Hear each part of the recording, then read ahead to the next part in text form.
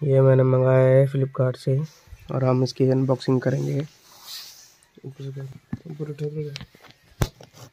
ये दिखना चाहिए।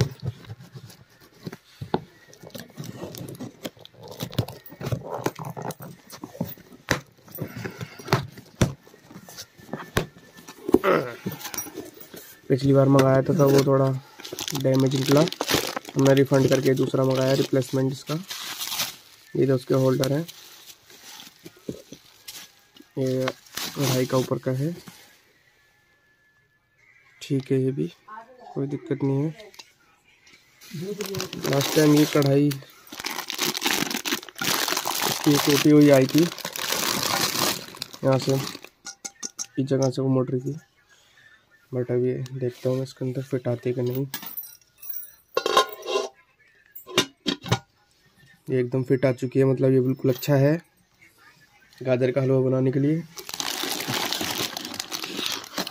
और इसके साथ ये पैन आया है, जिसमें आमलेट बनाएँगे हम। एकदम अच्छा लाल रंग का। नेक्स्ट